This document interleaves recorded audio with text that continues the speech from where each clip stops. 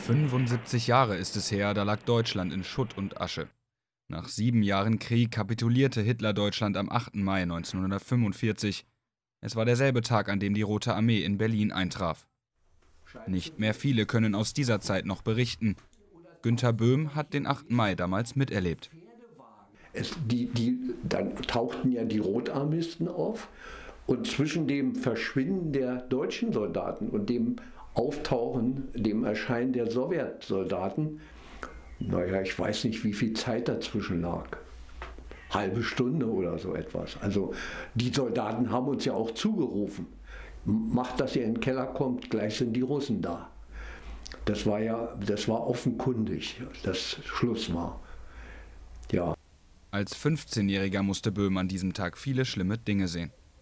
Naja, diese Plünderung und all das, was da an äh, Ausschreitungen passierte, war natürlich furchtbar.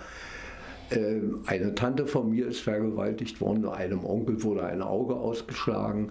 Also da sind, und uns wurden die paar Sachen, die wir noch nach dem Ausbomben besaßen, die wurden uns gestohlen.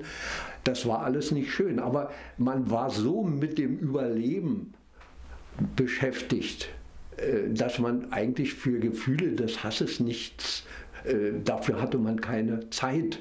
Äh, man war anderweitig ausgelastet. Der 8. Mai steht in Europa symbolisch für das Ende des Zweiten Weltkriegs und die Befreiung von den Nazis. Ob er ein Feier- oder Gedenktag sein soll, darüber sind sich die Länder immer noch uneinig. Für den 90-Jährigen bedeutet der Tag etwas Positives. Vor allen Dingen dieses Gefühl, es der Krieg ist vorbei. Das war das Wunderbare. Und äh, dann hieß es, äh, äh nie wieder Krieg war dann die Parole.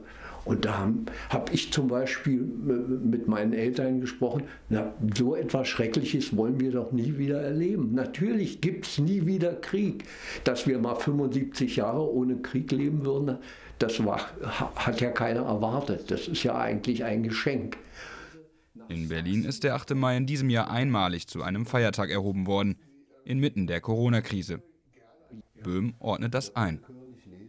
Naja, ich, ich schwärme ihn regelrecht vor, in was für wunderbaren Verhältnissen Sie und ich natürlich auch heutzutage leben.